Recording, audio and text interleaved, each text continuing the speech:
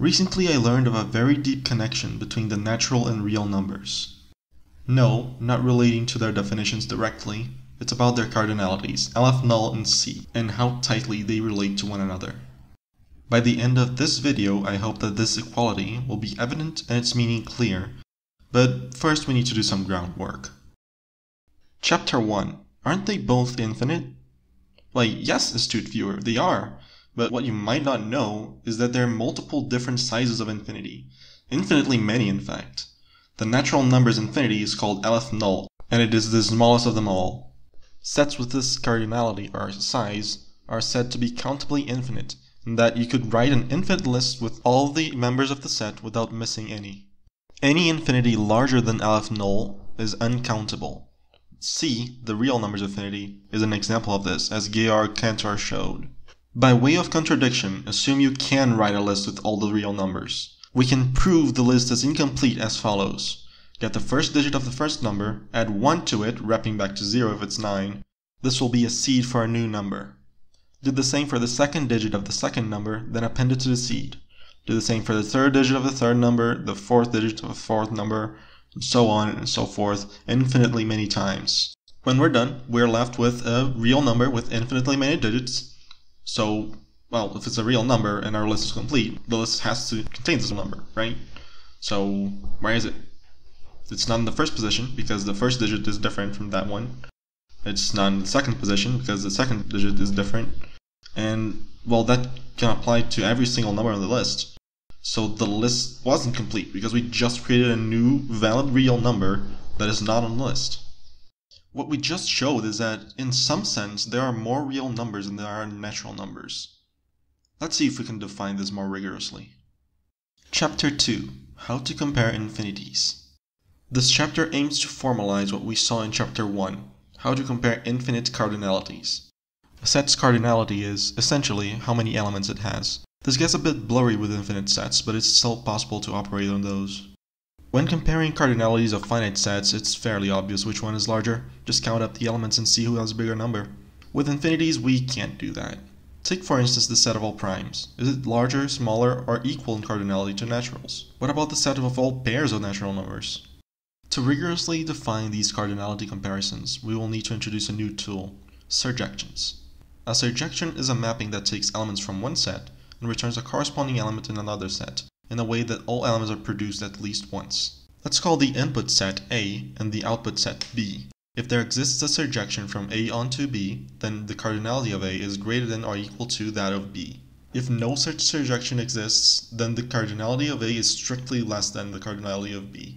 These may sound like overcomplicated ways to avoid counting and, well, they are. We need to avoid counting since that won't get us anywhere in infinite sets. By creating these surjection relations, we're still comparing finite sets just fine, while also allowing us to compare infinite ones. A special kind of surjection is called a bijection, where no element in B is mapped to more than once.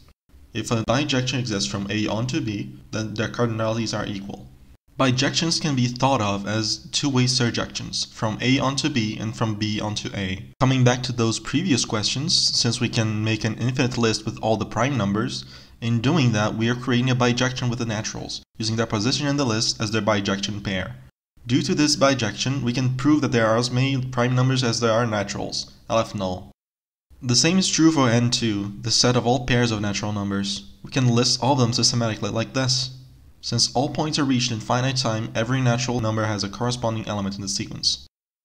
At first glance, both sets seem as if they are clearly larger or smaller than the natural numbers.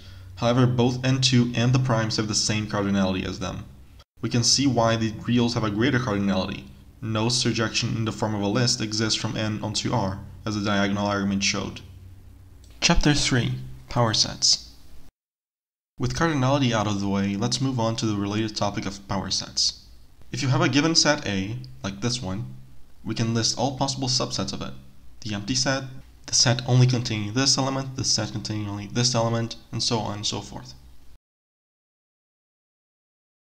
The power set of A is the set that includes all of these subsets. Notice how if we assign each element a choice of either being included as 1 or not as 0, we can produce subsets by iterating over different choices. Choosing these two elements produces this subset, while choosing none produces the empty subset. And choosing these other two produces yet another subset. The sharp among you will realize this means for finite sets at least. The cardinality of the power set of A is always 2 to the cardinality of A. In fact, this is so important, this is extended onto the hierarchy of infinities. The cardinality of the power set of any set is 2 raised to the cardinality of the original set. This should already be ringing alarm bells, and yes, that is indeed the direction we're headed. But wait, you might ask, what if the power set of A produces a set with the same cardinality? 2 to the x equals x has no real solution, why should it have 1 in the infinities? It isn't immediately obvious that it doesn't happen, as we've seen some sets that seem to be strictly larger than the naturals have the same cardinality as them. However, Cantor's theorem tells us that this does not happen. Yes, that same Cantor from before. This theorem tells us that no function f from s to the power set of s can be surjective, which means for all sets, finite or otherwise, the cardinality of s is strictly less than the cardinality of the power set of s. This is very easy to show in finite sets because you can just count them up. Where it gets interesting is the infinite case. Let S be a set. Again, we'll prove that no function from S onto its power set can be surjective, which shows that the cardinality of S is less than that of the power set of S. How do we show that? We need to construct a subset of S that no specific function f can map onto. This isn't a simple task, but I'll give you time to think. I'll give you a hint. It needs to use f itself in the definition since we know next to nothing of it. And again, don't feel bad if you didn't get this. And the subset in question, call it T, is the subset of S whose elements are not in their mapped subsets. That, that was a mouthful, yes. Let's dissect it a bit. Every element x of S was mapped to one subset of S, say f of x. If the f of x subset contains the original element x, we throw x out of T. If f of x does not contain x, we include x in t.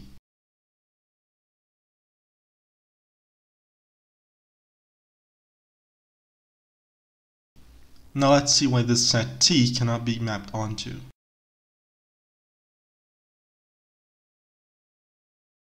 The supposed element E either is or is not in T. What happens if E is in T? Well, T is f of E, really. So that's saying E is an f of E. But by definition of T, E can't be an f of E. So that's a contradiction. So E can't be in T. But if E is not in T, well, E is not an f of E. So by our definition of T, E should be in T. So that's another contradiction. Since both paths led us to contradictions, then the original assumption that T is f of E for some E in S must be false. And coming back to the previous problem, since there is one subset T that f does not map onto, f cannot be surjective. It then follows that if no function f can be surjective from a set S onto its power set, then the cardinality of the power set is always greater than that of the original set, even for infinite sets. Chapter 4 The Equality Before we tackle the proof itself, let's make two observations. Our sets of interest, the naturals and the reals, have bijections with these two new sets. Relation 1 is easier to show as a bijection. We can pair each natural number n with 2 to the negative n. Since 2 to the negative n is unique for every n, and every n has an associated power of 2, this is a true bijection. Let's call the set of reciprocals of powers of 2 x. Next is relation 2. It might seem weird though, we're mapping the entire number line to the interval 0 to 1. How could these have the same cardinality? Well, the same way the naturals of primes and n2 also have the same cardinality. Even though one of them seems clearly smaller, there's still a bijection between them. Back to relation 2, we can see no horizontal line crosses the graph twice, which is equivalent to our condition of uniqueness. It also spans the entire interval y, since the function gets arbitrarily close to 1 or 0 for large enough positive or negative inputs.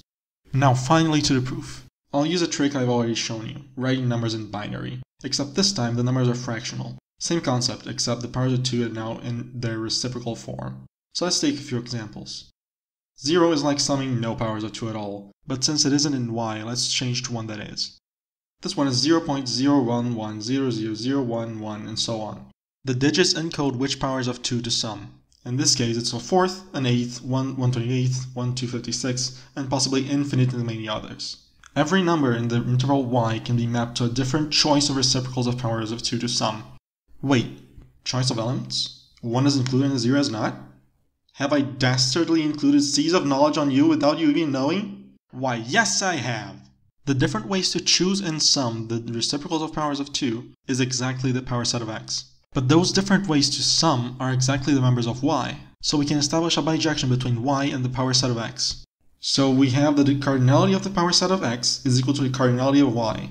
But since the cardinality of x is the same as that of the naturals, Aleph null, and the cardinality of y is exactly the cardinality of the reals, c, we have that the cardinality of the power set of the naturals, 2 to the Aleph null, equals c. When I first learned this result, I was so excited. The two most common infinities were tied together with such a strong bond. The reals would always have a larger cardinality, yes, but I would have never guessed it to be exactly the number of subsets of naturals. After I first discovered different infinities via PBS infinite series, uncountably many seemed indescribable, too vast, too numerous, and especially no way to compare them to the naturals. There's a couple of edge cases I've chosen to ignore, but I'll acknowledge them here. 0 is outside the interval, and so is 0.11111, which is 1, but both are in the power set of x. In fact, any expansion that ends in infinitely many ones is a problem, since those are another way to write another number. Our bijection is ruined, but if we just take these out, it turns out they are countably infinite. So it doesn't affect our final calculation, since 2 to the Aleph null minus Aleph null is 2 to the Aleph null. Thank you for watching this far, it really means a lot to me, and I hope you've enjoyed this proof as much as I have. See you next time on Infinite... Wait, no, that's not my line. See you next time!